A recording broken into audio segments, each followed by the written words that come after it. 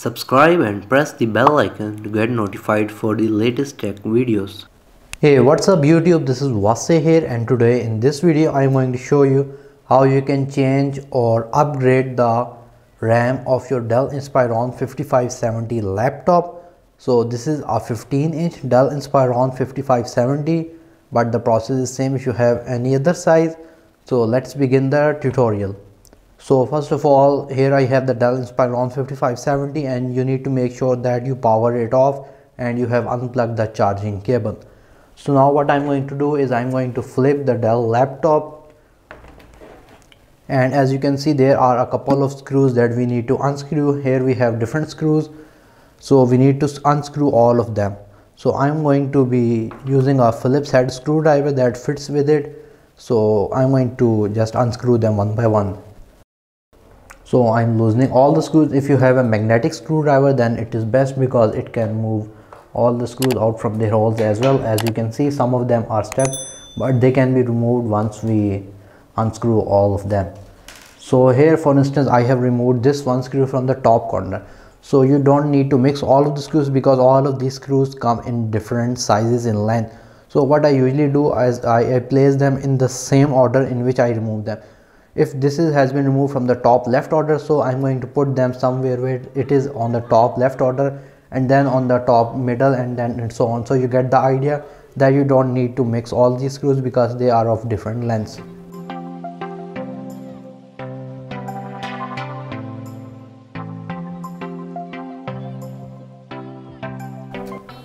So once you have unscrewed all the screws you can't open it directly first of all you need to remove the hard disk drive bay or in your case it will be the dvd drive bay.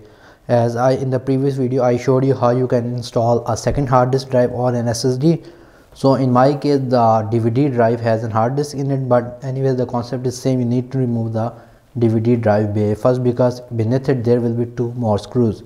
So you're just going to push it outward like this and you're going to place it somewhere place for uh, safer. So as you can see in my case i have a hard disk drive. So here you will have two more screws as well that you need to unscrew.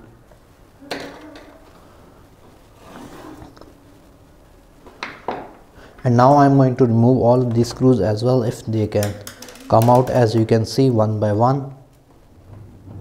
So this one came out from the top this one came out from the bottom like from here. And we still have some of these screws left that we need to remove.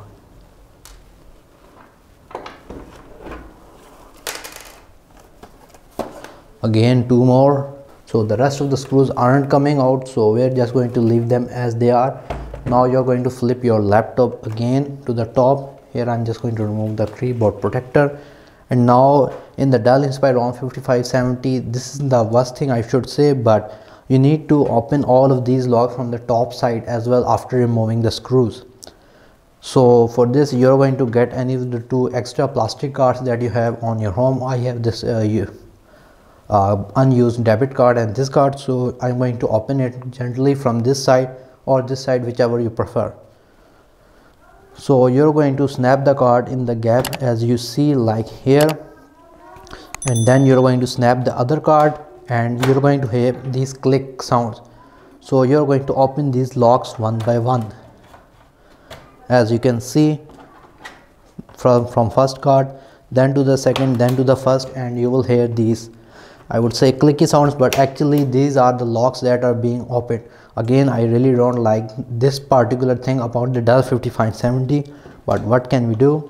So I'm going to gently open it.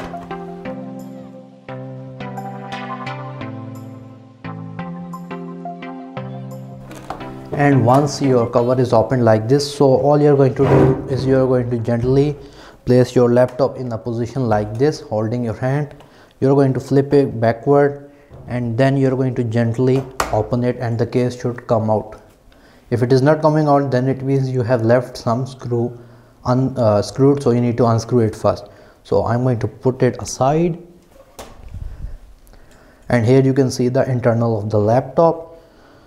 So here is your ram bay. If i flip it over so that it becomes much clearer to you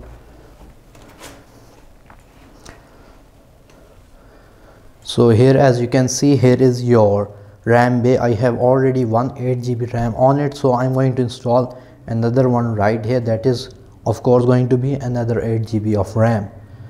So before i'm going to install the ram i'm going to clean it first with a small air blower but i do not recommend that you do it yourself.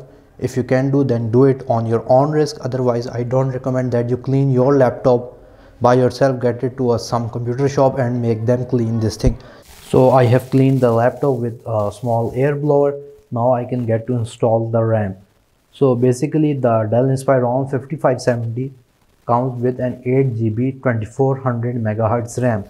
So you should get a 8 GB 24 megahertz RAM if you're going to pair it with an 8 GB RAM. But some people do pair it with a 16 GB. So I should tell you that this laptop supports a maximum of 32 GB of RAM, meaning that you can have two sticks 16 GB here and 16 GB here. But in my case, I'm just going to do go with 16 GB in total. So this is the ram that i bought. Uh, as you can see it is not a 2400 megahertz ram because where i live i couldn't get one that had 24 megahertz. So that's why i had to go with the 2666 megahertz ram by the way this is the ADATA 8 gb ram. If you're wondering that's the one i'm going to install on the dell inspiron 5570 so here if i show you the ram this is a 260 pin ram. So it uh, combine it connects with our Dell Inspiron 5570 so you can see one side is shorter and one side is longer. So there is no way that you can insert the ram in the opposite direction so you don't have to worry about that so here uh, we have the smaller size and here is the longer size. So i'm going to first see on the ram then i'm going to put it here from the top side. As you can see it's like here. I'm going to push it. I'm going to press it downward.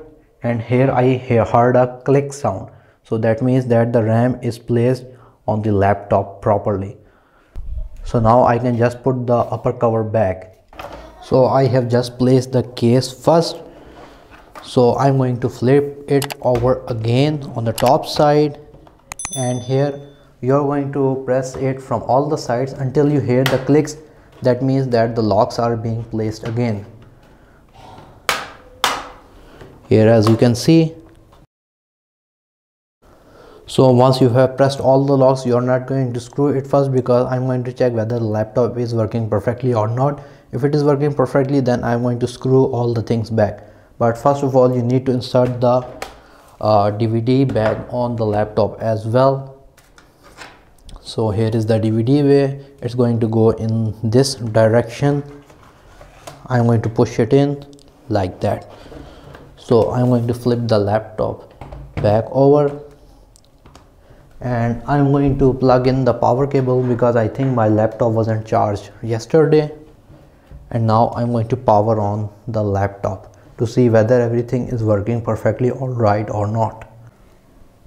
So now i'm going to power on the laptop to see whether if everything is working all right or not. If everything is working all right and it if it has detected the newly installed ram then i'm going to shut down the computer again unplug the power cable and then i'm going to screw all the back screws that are remaining so let me just move the camera upward so that you can see what is happening on the laptop screen itself. Hopefully the camera is able to focus on it. So as far as the laptop is concerned it is working perfectly. All right now let's see whether it has detected the newly installed 16 uh, 8 GB of RAM. So we're going to have a total of 16 GB in this particular laptop. So taking the RAM is quite simple here you will have saying this PC if I zoom in more you're going to right click on it.